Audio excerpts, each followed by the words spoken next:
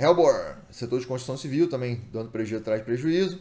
E a redução acentuada do prejuízo anual demonstra claramente a evolução do novo ciclo da companhia, onde os projetos novos estão sendo lançados possuem margens robustas, enquanto os projetos antigos com margem mais comprimida estão em processo de finalização, pela venda massiva do estoque de unidades prontas. Pelo menos o EBITDA foi positivo em 2019. Então, é aquela empresa que tem que analisar diferente, analisar as melhoras dela e não que ela dá lucro, né, infelizmente. Ela é de um setor muito complicado, uma das principais incorporadoras imobiliárias, mas não é construtora. É, ela tem um bom segmento de listagem, bom free float,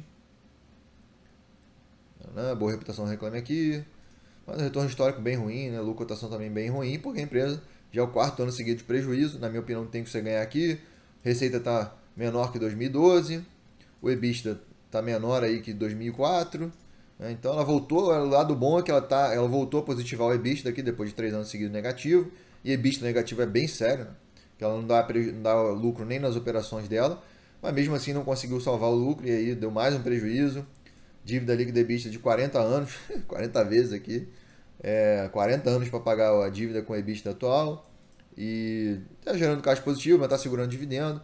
E aí quando você olha os trimestrais desse aqui, não tem jeito, né?